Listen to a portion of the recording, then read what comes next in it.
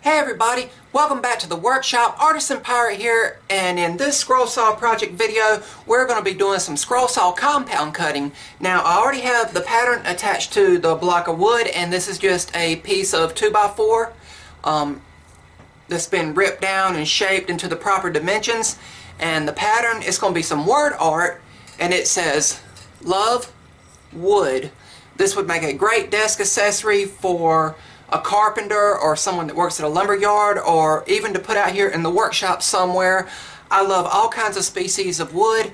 Um, my favorites are cedar and pine. I think pine is a very underrated wood to work with. I know it's soft and you can scratch it easy, but if you take your time and work with it and finish it properly, it can be a beautiful wood. Um, again, this is just a piece of 2x4 for this video. I've already attached the pattern and got my pilot holes drilled for the O and V in love and the D and the O, well, all the letters of wood have interior cuts as well. Um, compound cutting on the scroll saw, you need to have your scroll saw at a perfect 90 degree angle to the blade here. And speaking of blades, I'm going to be using a little bit thicker blade than I normally use. Um, this is the blade I usually use, which is a number 5. This will be the type of blade we're using today, which is a number 12.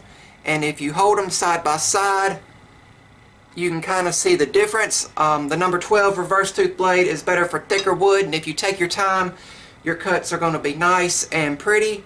But what I'm going to do is get the blade threaded through one of the interior cuts here and get started. And we're going to begin here with the internal cuts like with most scroll saw projects. I'm only going to film cutting out the internal sides on the word love for this video. Um, internal cutting's fairly straightforward if you know what you're doing on a scroll saw. Again, with the wood being thicker than normal scroll saw projects, you want to make sure that your blade is square to your table at a perfect 90 degrees.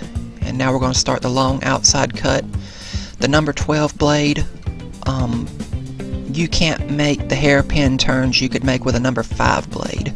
So you see me backing up and making it the line a little bit bigger so I can make the sharp turn around the word wood. And just going along and following the line. This pattern is available at Steve Good's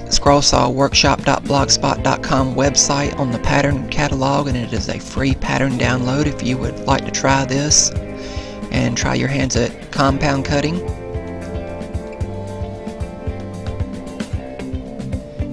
Going right along here and you send me back up there again so I can get that tight curve right there on the O's and the D right there.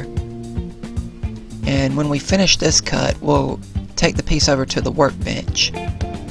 And this is just something that I like to do. I like to pop the piece out as you see there and you can see the internal cuts on the other side but I like to take just a old toothbrush, a dollar store toothbrush and clean off all the dust from scrolling before I put it all back together and this just prevents that sawdust from catching in the blade and heating up and leaving burn marks on your piece. And then we're just going to take some clear packing tape and tape the piece back together to keep it nice and secure. And clear packing tape also lubricates the scroll saw blade if you guys didn't know, so that's another little tip um, why I love to use the clear packing tape. But then we're going to go over to, back to the scroll saw. And cut around the word love. Um, and just taking my time. I'm not forcing the blade through the wood because then with the wood being so thick the blade can um, bend in the wood and then your cuts will not be as even and as smooth so just let the blade do the work in the wood and the only thing I'm doing is using my hands to guide the piece along the line.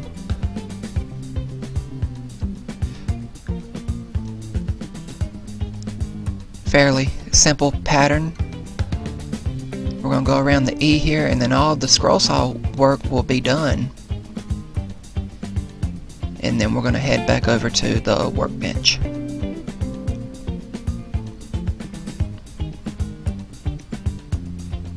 And we're going to take the whole thing apart again for the last time and then clean it up using an X-Acto knife there to get the rest of the pattern off and using a toothbrush again to just clean it up real good and I'm going to use the X-Acto knife to go around in the internal cuts and get those fuzzies out that happens when you use a scroll saw and the project is completed.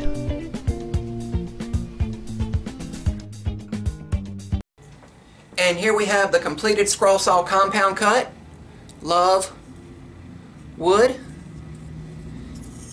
all the way around. Love wood. Think it looks real great. Um, these are great conversation pieces to make and set on a desk or a shelf because when someone comes over or picks it up off your desk, they're like, hey, how did you make that? It's got that 3D effect. And, you know, it just blows some people's mind that it was handmade on a scroll saw. Compound cutting is a very versatile technique to use on the scroll saw. I've seen books dedicated just to this art form. I've seen chess patterns for compound cutting, all kinds of things with the compound cutting on the scroll saw. Um, I just saw this pattern and wanted to make it to put it out here in the shop or in the house somewhere, but real neat. Really loved how it turned out. Another look, and again, this is just a piece of 2x4. Really awesome design. That is about all for this video. Remember guys, if I can make it, you can make it. I will have another one of my videos floating up in this corner and I'll have the subscribe button floating in this corner. I'm the Artisan Pirate. Take care and I'll see you guys real soon.